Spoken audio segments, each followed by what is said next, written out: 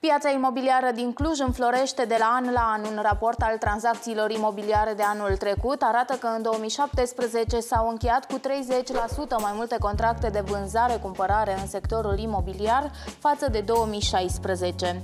În total s-au vândut proprietăți în valoare de 600 de milioane de euro.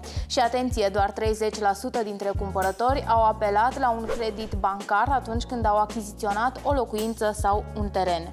Și acum poate vă întrebați de unde sunt cei mai mulți cumpărători. 69% sunt din județul Cluj, iar restul vin din județele limitrofe. Bistrița, Năsăud, Maramureș, Sălaj, Alba, Mureș și Satu Mare.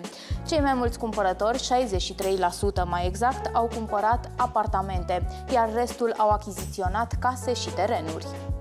În 2017, în Cluj-Napoca a crescut cu 20% prețul de vânzare al apartamentelor și caselor. Astfel, orașul de la poalele Feleacului se situează pe locul 2 în țară, la categoria prețurilor medii pe metru pătrat. Clujul este surclasat doar de sectorul 1 al municipiului București. Luna de vârf în care au fost perfectate cele mai multe tranzacții a fost decembrie, conform celui mai recent raport dat publicității.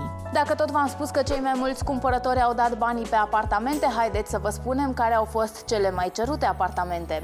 Specialiștii spun că cele mai căutate locuințe în blocuri sunt cele care au suprafața cuprinsă între 34 și 55 de metri pătrați.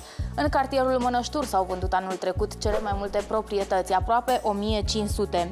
Și chiar dacă ar putea părea surprinzător, Mănășturul este cartierul unde anul trecut au avut loc cele mai valoroase tranzacții, de aproximativ 88 de milioane de euro.